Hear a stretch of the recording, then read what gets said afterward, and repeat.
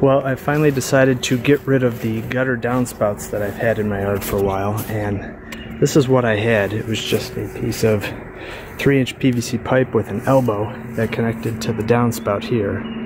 The problem is, it kept washing out all the uh, wood chips that we had here. So, what I did is I went to Lowe's and I bought this section of black solid corrugated pipe, and I'm going to connect it to the downspout, bury it just below the surface. And then I bought this section of um, irrigation pipe.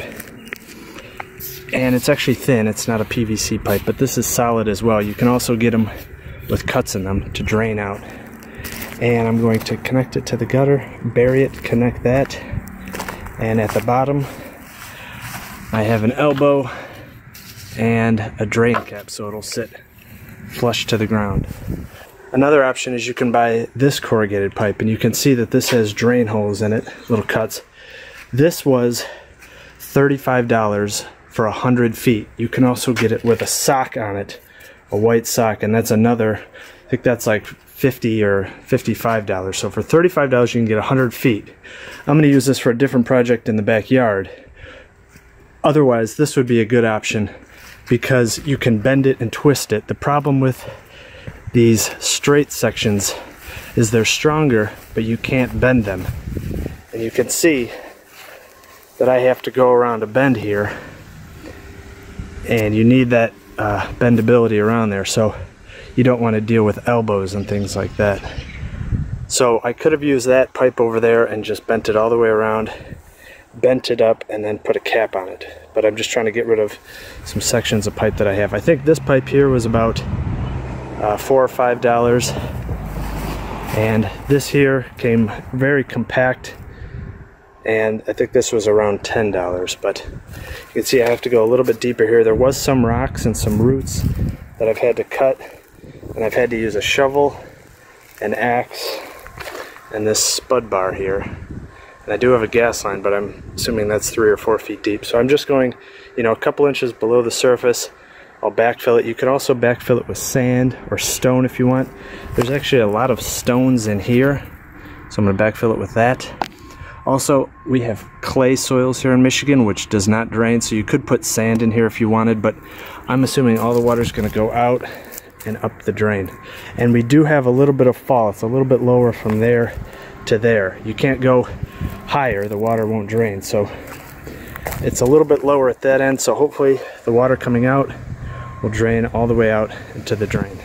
And another thing I wanted to point out was this was a downspout that I did many years ago and I had to dig under under this sidewalk here. And this was a solid PVC pipe where I had to do an elbow did underneath and I did a connection here to a, uh, a slotted PVC pipe. And here's the drain. And this has worked well.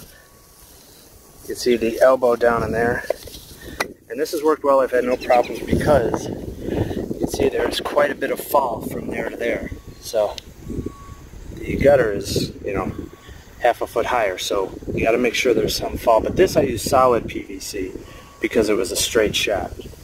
Okay, so here's what it looks like a couple hours later. I'm just test fitting it, getting this flush with the ground. There's the straight pipe and I did have to use a, a little section off that large spool to get it to fit on this uh, braided end. That connects there and you can see all the roots that I had to deal with. This area of soil was good up until here and then it became rocky, hard.